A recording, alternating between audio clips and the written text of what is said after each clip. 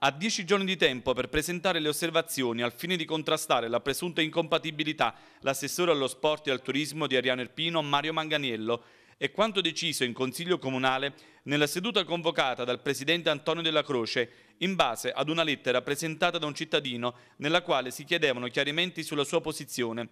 La minoranza aveva già sollevato il problema all'inizio della consigliatura, poi accantonato perché si era battuta la strada della inconferibilità.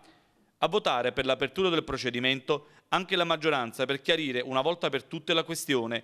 Nella seduta del Consiglio è stata illustrata come secondo punto all'ordine del giorno la bozza del documento dell'area vasta, di cui dovrebbero far parte i comuni dell'Ufita, Calore, Miscano e Cervaro.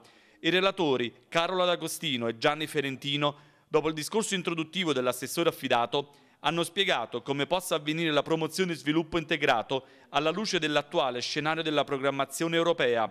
L'assessore affidato ha snocciolato punti di forza e di debolezza del territorio al fine di integrare il documento anche con il supporto dei consiglieri comunali che dovranno attuare un percorso di esplorazione e ascolto. Diversi gli interventi e le osservazioni di tutti i consiglieri, sia di maggioranza che di opposizione, prima del voto favorevole.